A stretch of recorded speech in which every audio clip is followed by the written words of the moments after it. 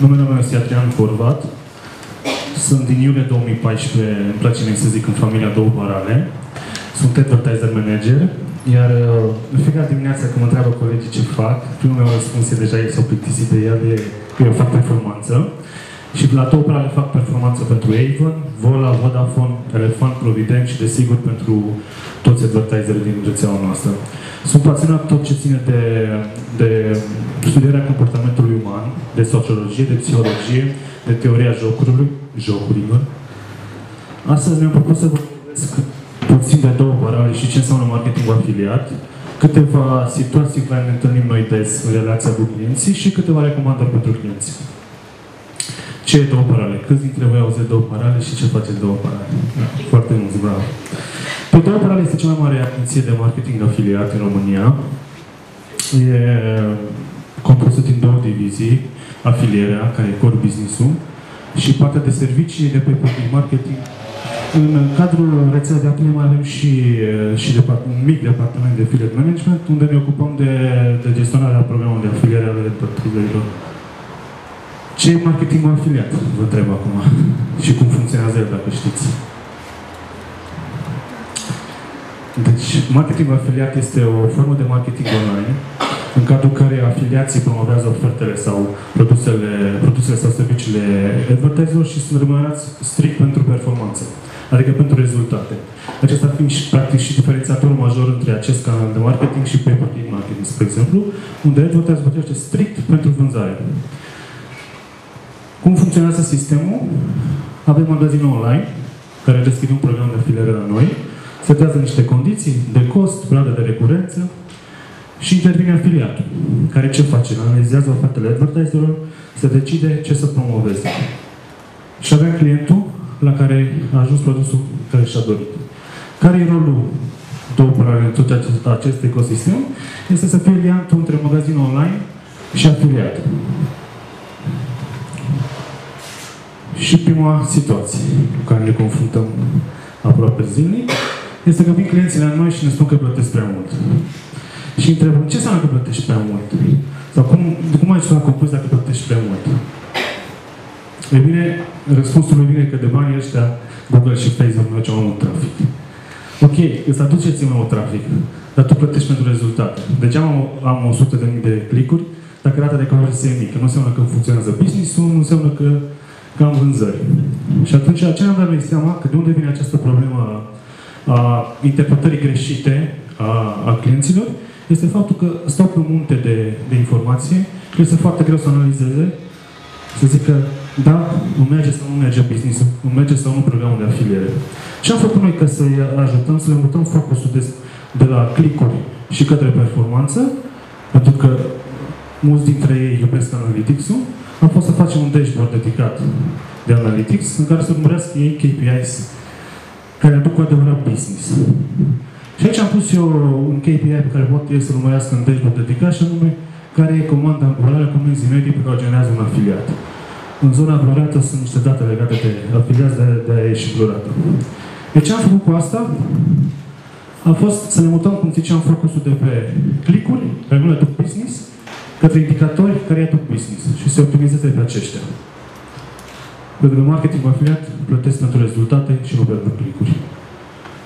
O a doua situație cu care ne confruntăm des este că vine advertiser și ne spun că vor să mărească, să micșoreze perioada de recurență. Ce înseamnă perioada de recurență? Geometria este de 30 de zile și prezintă perioada de la prima vizită a clientului pe care l-a adus afiliatul și în acea perioadă, orice comandă pe care o face, o face clientul, afiliatul va fi comisionat. E bine, argumentul lor pentru care vor să micșoreze perioada de recurență este că simt că îi plătesc în plus. Simt că îi plătesc în plus pentru niște comenzi care spun că oricum veneau după aia. Ok, veneau după aia, da? De unde știi tu că veneau după aia? Ne spun că veneau din remarketingul meu. Ok, veneau, dar cum poți să argumentezi tu că remarketingul a decis vânzarea și afiliatul nu a avut nicio, nicio contribuție? Și ce am făcut noi a fost să ne uităm la următoarea statistică. Ne-am uitat cât la sută dintre vânzări se fac în primele 24 de ore, adică la, la prima vizită a clientului. Și ce am văzut e că în contul de AdWords a unui client din fashion, 26% dintre vânzări se fac în primele 24 de ore, Și programul de afiliere al acelui și advertiser aduce 41% din vânzări. Ce înseamnă?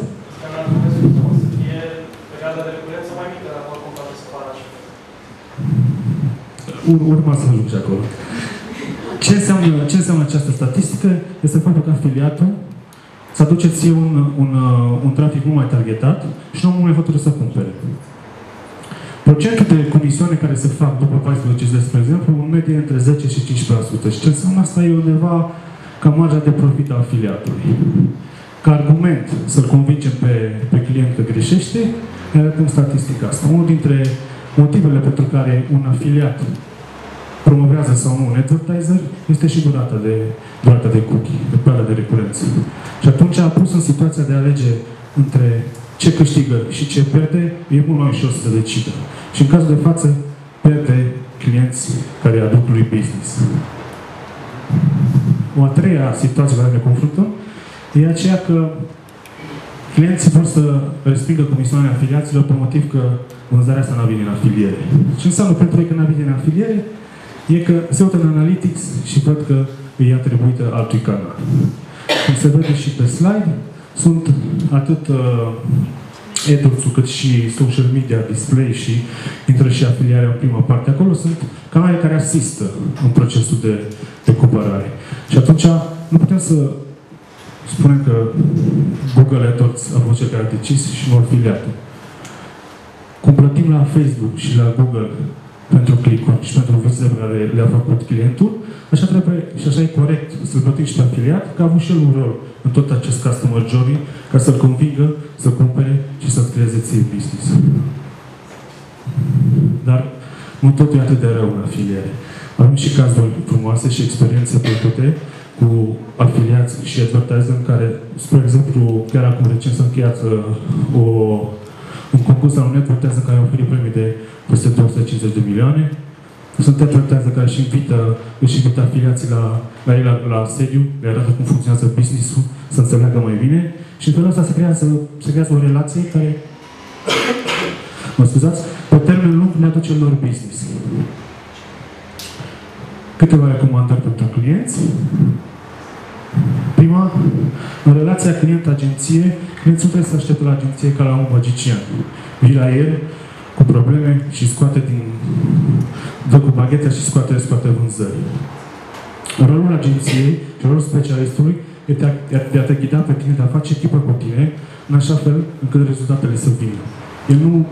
Rezultatele depind în... M-aș să dau un procent, dar hai să zic jumate, jumate depinde și la specialist și la tine, ca și client. O a doua recomandare, pentru clienți, în momentul când faci analiză de profitabilitate, nu mai pun toate canalele în aceeași, în aceeași oală. Fiecare canal de mare pe care, pe care îl folosești trebuie tratat în particularitatea lui și trebuie să urmărești indicatori de performanță diferiți. Pentru că plătești pentru lucruri diferite. Și ultima recomandare, că este specifică marketingului afiliat, ca un program de afiliere să funcționeze, e nevoie ca interacțiunea ta, ca și client, cu afiliatul care îți generează ție business, să fie o interacțiune nu de om cu calculatorul, ci de om-om. Dacă la Google și la Facebook vorbești cu un sistem, practic asta e, în afiliere vorbești cu un om. Practic s-a mutat agentul de vânzare clasic, s-a mutat în online. Dacă vrei să aducă business, trebuie să stabilești o relație cu el. Și un sfat pentru agenții, și aici am o întrebare pentru voi, câți dintre voi au zis de Dan Ariely, Așa, Dan Ariely este pentru aceia dintre voi care nu știe, este, este un, um, un profesor care predă la Duke, University în America, științe comportamentale, are o poveste de viață foarte interesantă. A avut un accident foarte grav când era, când era mai tânăr și experiența din spital l-a determinat să studieze comportamentul oamenilor. Și l-a venit cu următorul efect, cu IKEA efect. Ce spune acest efect? Despre ce vorbește el? Vorbește despre Valoarea pe care o dă fiecare, fiecare om, o dă lucruri la care el a avut o contribuție. Și ca să mă leg de sfatul pentru agenții, sfatul meu ar fi să, să implicați clientul în toată munca asta, că va aprecia mult mai mult la final și chiar în momentul în care nu vor fi rezultate, va înțelege mai bine cum funcționează business-ul. Și pe Pentru aceia dintre voi care sunt interesați de o experiență de lucru cu într-o rețea de afiliere, noi avem deschis un program de internship, să nu cunoașteți pe cineva, așteptăm cu mare drag să jucăm FIFA. Alex acolo este campionul nostru la FIFA, vă așteaptă. Avem cele mai mișto Happy Friday-uri. Pentru cei interesați, mail-ul meu. Vă mulțumesc. Dacă sunt întrebări.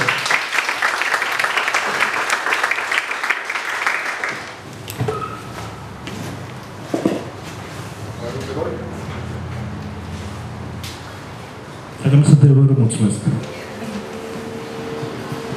Mulțumim mult, Adrian.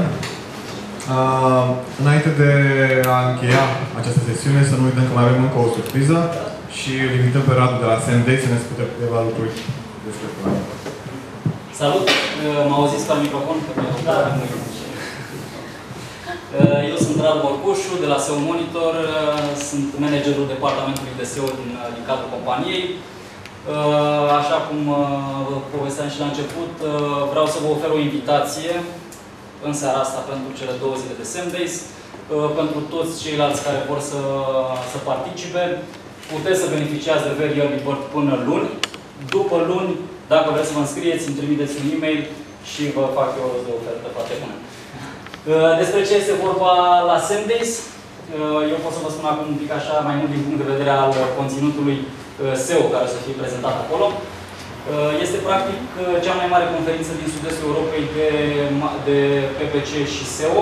O organizăm împreună cu partenerii de la două parale de 3 ani de zile. O să fie pe 24-25 septembrie, de cum o să creăm conținut, astfel încât, să zicem, nu știu, utilizatorii să, să-l șeruiască și pe care mai apoi să-l distribuie și să fie preluat în publicații de bloguri, astfel încât să, să facem rost, practic, de autoritatea care ne interesează. Adică lăsăm deoparte toată discuția asta cu Black Hat versus White Hat, care oricum, din punctul meu de vedere, nu există.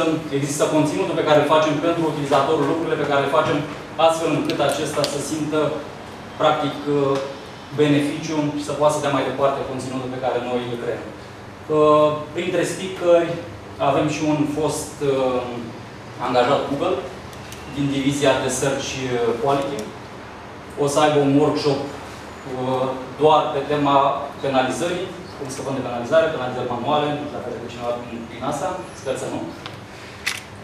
Avem din nou un speaker de la DeepCrawl.